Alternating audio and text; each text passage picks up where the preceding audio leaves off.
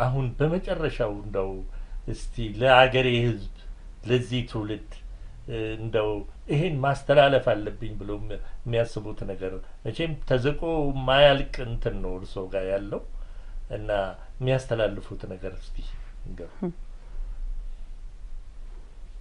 ነይ እዚህ ኮሌጅ ውስጥ አስተምሪ ብለው ሲጠሩኝ አሁን እንደተባለው ብዙ know-how and experience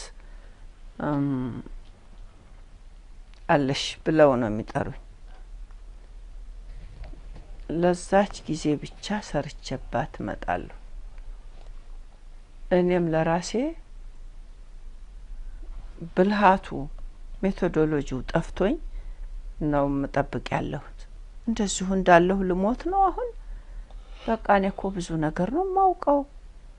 መጻፍማ ብዙ እንትን ሊፈጅብኝ ነው ኖ በያለበት እንደሱ እየሄድኩ በፈቃደኛነት ማስተማር አለብኝ።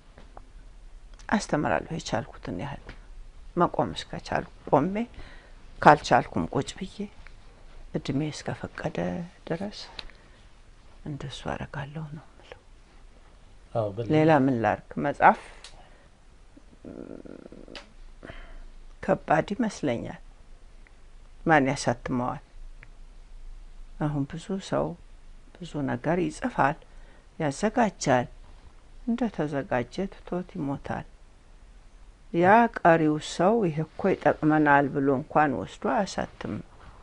ዝም ብሎ ተራ ሺት ሆኖ ይቀራል። ግድ የለም እርሶ ይጻፉ ከስር ከስር እንግዲህ ወደፊት ጊዜው ነው እንትን የሚሉትና አንድም በጽሁፍ ነው መተላለፍ ያለበት።